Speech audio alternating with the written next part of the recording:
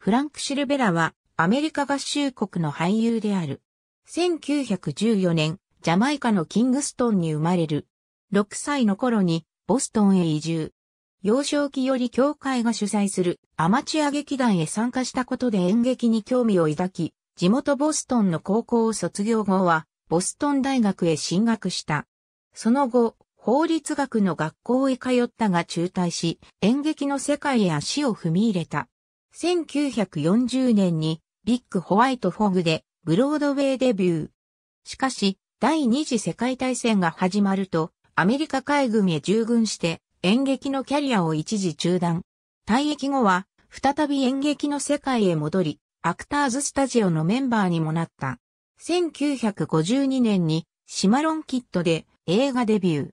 翌年の1953年には、スタンリー・キューブリック監督の映画、恐怖と欲望に出演し、マック軍曹を好演した。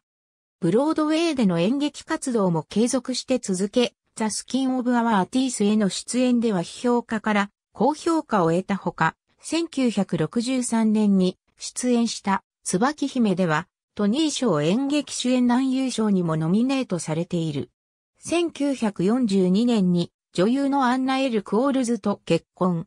二児の父親でもあった。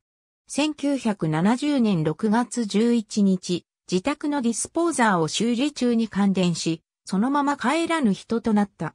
55歳だった。ありがとうございます。